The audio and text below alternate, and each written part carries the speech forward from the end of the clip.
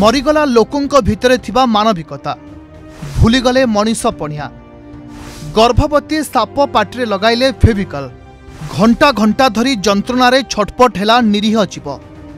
କେରଳରେ ଗୋଟିଏ ଗର୍ଭଣୀ ହାତୀକୁ ପଣସରେ ବାଣ ଦେଇ ମାରିବାର ଘଟଣା ଏବେ ବି ଲୋକଙ୍କ ମନରୁ ଲିଭିନି। ସେହି ସମୟରେ ଏହି ଘଟଣା ସାରା ମାନବ ଜାତିକୁ ଲଜ୍ଜିତ କରିଥିଲା।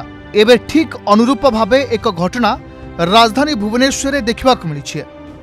ରାଜଧାନୀ ଉପକଣ୍ଠ ଓଲ୍ଡ ଟାଉନ୍ ଅଞ୍ଚଳରେ କିଛି ଲୋକ ଏକ ସାପକୁ ଆଣି ଫୋପାଡ଼ି ଦେଇଥିଲେ ସ୍ନେକ୍ ହେଲ୍ପଲାଇନ୍ ପକ୍ଷରୁ ନାଗ ସାପଟିକୁ ଉଦ୍ଧାର କରାଯାଇଥିଲା କିନ୍ତୁ ଆଶ୍ଚର୍ଯ୍ୟର କଥା ସାପର ପାଟିରେ ଲାଗିଥିଲା ଫେଭିକଲ ଅଠା ଯେଉଁଥିପାଇଁ ନିରୀହ ଜୀବଟି ଦୀର୍ଘ ସମୟ ପର୍ଯ୍ୟନ୍ତ ଯନ୍ତ୍ରଣାରେ ଛଟପଟ ହୋଇଥିଲା ସେ ଖୁବ୍ ଅସୁସ୍ଥ ଥିଲା ପାଟି ମୁହଁ ଖୋଲି ପାରୁନଥିଲା ସେ ତାକୁ ଏଇ ଭୁବନେଶ୍ୱର ଉପକଣ୍ଠ କୌଣସି ଗାଁରୁ ତାକୁ ରେସ୍କ୍ୟୁ କରିକି ଏଠି ଆଣି ପହଞ୍ଚିଲେ। ପ୍ରଥମେ ଆମେ ତାକୁ ଦେଖିଲୁ ଅ, ସେଟା ଚଳଚଞ୍ଚଳ ହେଉନାହିଁ ଡଲ୍ ହେଇକି ପଡ଼ିକି ରହିଛି। ତେଣୁ କାଳେ ତାକୁ ରେସ୍କ୍ୟୁ ଟାଇମ୍ରେ କିମ୍ବା ଲୋକ ୟୁଜୁଆଲି ଏଟା ବିଷଧର ସାପ ତ ଲୋକ କାଳେ ବାଡ଼େଇ ଦେଇଥିବେ କି କ'ଣ? କିଛି ତାର ଭାଙ୍ଗି ଯାଇଥିବ କି କ'ଣ ତା ଦେହର ହାଡ଼? ଆମେ ତାକୁ ଏକ୍ସରେ କରିକି ଦେଖିଲୁ। ତାର କୌଣସି ସ୍କେଲିଟାଲ ସିଷ୍ଟମ୍ ବା ଅସ୍ଥି ମଜ୍ଜାରେ କୌଣସି ଇଞ୍ଜୁରି ନଥିଲା। ତାକୁ କୌଣସି କାରଣବଶତଃ ସେମାନେ ଧରିଛନ୍ତି ଯେହେତୁ ବିଷଧର ସାପ ଆଉ ସେ କାମୁଡ଼ି ଦେବା ଭୟ- ଭୟରେ ସେ ତାକୁ କୌଣସି ସିନ୍ଥେଟିକ୍ ଅଠା ସବୁ ଲଗାଇ ଦେଇଛନ୍ତି ପାଟିରେ। ତେଣୁ ସେ ପାଟି ଆଦୌ ଖୋଲି ପାରୁନି।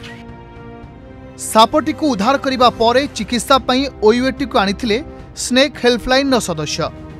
ସେଠାରେ ଲେମ୍ବୁ ଆଉ ଗରମ ପାଣି ସାହାଯ୍ୟରେ ନାଗସାପ ମୁହଁରୁ ଅଠାକୁ ବାହାର କରାଯାଇଛି। ଅଠା ବାହାର କରିବା ପରେ ଧୀରେ ଧୀରେ ସାପଟି ପାଟି ଖୋଲିବା ସହ ଫଣା ଟେକିଥିଲା।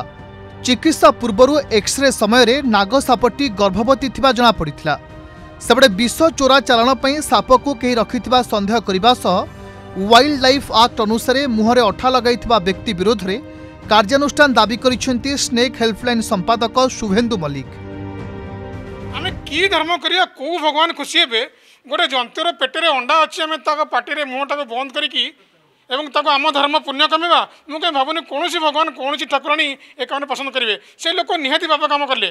ଖାଲି ତ ପାପ କାମ କଲେନି ଆମେ ନିଶ୍ଚିତ ଭାବରେ ଖୋଜିବୁ କେଉଁ ଲୋକମାନେ କାମ କରିଛନ୍ତି ତାଙ୍କୁ ଯେମିତି ୱାଇଲ୍ଡ ଲାଇଫ୍ ଆକ୍ଟରେ ବୁକିଂ କରିବାକୁ ପଡ଼ିବ ମାନେ ତାଙ୍କ ବିରୁଦ୍ଧରେ କାର୍ଯ୍ୟାନୁଷ୍ଠାନ ନିଆଯିବ ତା ବ୍ୟବସ୍ଥା ମଧ୍ୟ ଖୁସିରେ କରୁଛୁ। ମାନବିକତା ଭୁଲି ସାପ ପାଟିରେ ଫେଭିକଲ ଅଠା ଲଗାଯାଇଥିଲା ନା ଏହା ପଛରେ ବିଷ ଚାଲାଣ ରାକେଟର ହାତ ରହିଛି ତାହା ତଦନ୍ତ ସାପେକ୍ଷ। କିଛିଦିନ ପୂର୍ବରୁ ରାଜଧାନୀରୁ ସାପ ବିଷ ସହ ବିଷ ଚାଲାଣରେ ସମ୍ପୃକ୍ତ ବ୍ୟକ୍ତିଙ୍କୁ ଗିରଫ କରାଯାଇଥିଲା।